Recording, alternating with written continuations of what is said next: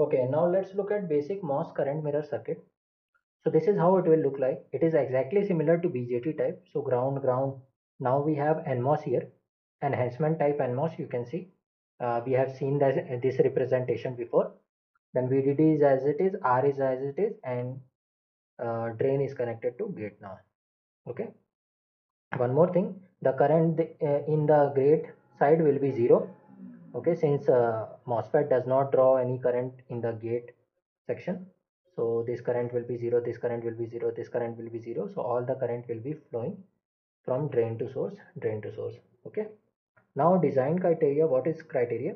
So we want this current to be 100 microampere which means this current should be 100 microampere. They will be in saturation by default. Okay the MOSFETs. We have to keep them in saturations. Just like we had to keep a BJT in active region they will uh, they can be matched in the in uh, MOSFET case and they can't be matched okay? It is not necessary that they have to be matched. Even if they are unmatched it will work out okay? Just you will not get exactly similar current in both the sides if they are not matched okay? If they are matched both the currents will be now you know the deal? Saturation region? Id is equal to kn vgs minus vt whole square. We are taking vt value 1 volt and kn is equal to 90 milliampere per volt. Transconductance parameter and uh, threshold voltage. Now id or i naught we want 100 microampere. Kn is 90 milliampere per volt. Vgs we don't know. 1 volt vt whole square. If you will calculate uh, the value of vgs here you will get two values since it's a quadratic equation 0.95 volt and 1.05 volt VGS values. We will choose 1.05 volt because it is greater than threshold voltage. If VGS will be less than threshold voltage, there won't be any current in the MOSFET. Okay, that's the reason we will be uh, choosing 1.05 volt. Once you have the value of VGS, from here you got now this VGS you can apply to KVL so R will be VDD minus VGS divided by IT that is IREF you can say which is same as I naught or ID. So 3 minus 1.05 this is 3 volt given. 3 minus, uh, 1.05 divided by 100 micro ampere. That will give you 19.5 kilo. Okay so for this uh, uh, criteria we have R value of 19.5 k the MOSFETs will be modeled in uh, threshold voltage and transconductance value. We have uh, VDD is equal to plus 3 volt. So it should generate 100 microampere. Okay. Now also if you will look here um, the output resistance it will come in mega ohms and uh, since um, uh, MOSFET has uh, uh, more output resistance than BJT so generally you will get output resistance higher than BJT case okay. So it will be in mega ohms uh, and also it will be more than BJT case.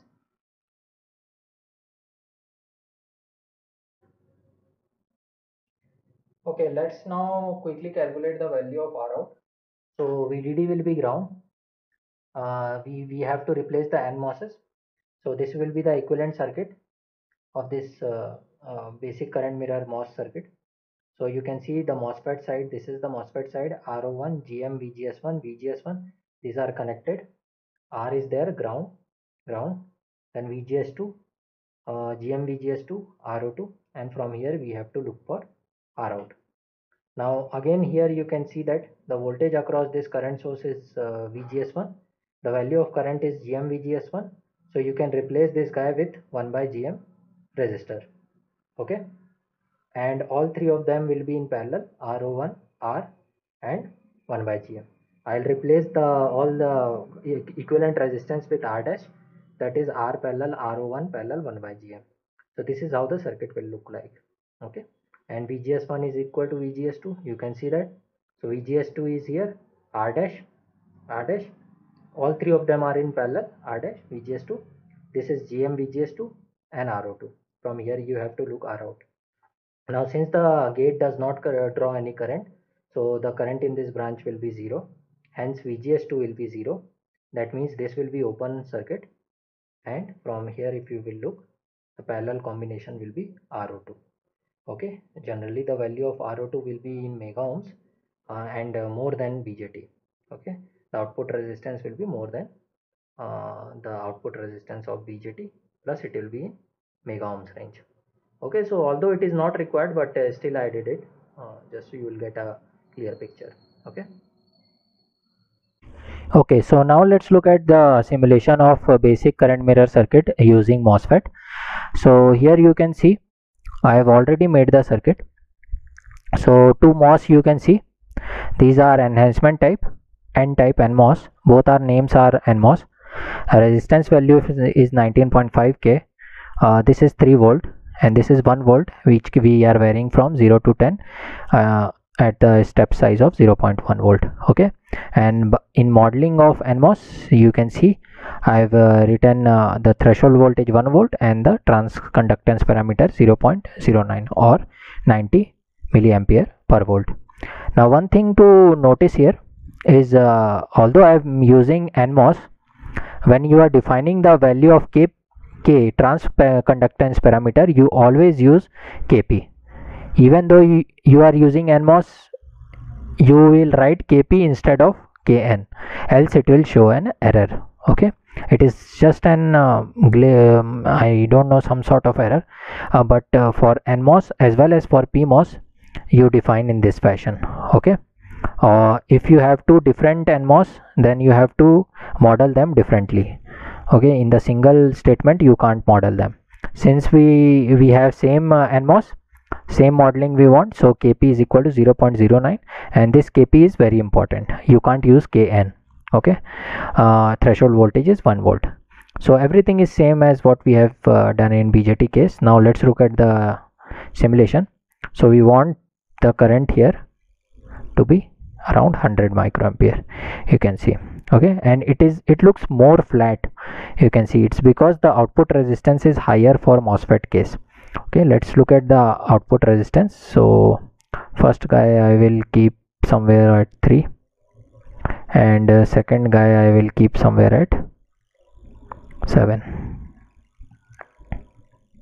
okay so the difference is 4 and you can see the slope is uh, uh, 1.81 uh, 1.82 into 10 to the power minus 12 so if you will draw text so r out will be r out is equal to 1 divided by slope. That will be equal to 1 divided by 1.82 e to the power minus 12 12 or 14 12 okay that will be very high output resistance but it is not infinite. Let's calculate. So i have calculated the value. So you will get something around uh, 10 to the power 12 5.5 e to the power uh, 11 okay so this much high output resistance you are getting you can see that.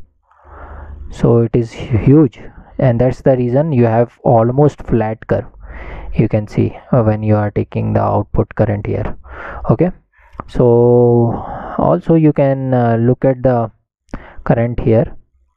So it is also around 100 uh, microampere and one more thing if you want to dominate one curve over the other so you just double click it.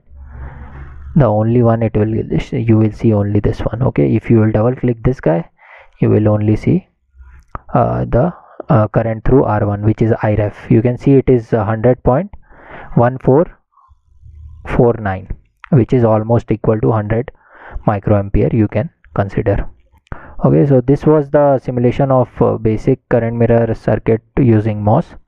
Uh, let's look at the other configurations as well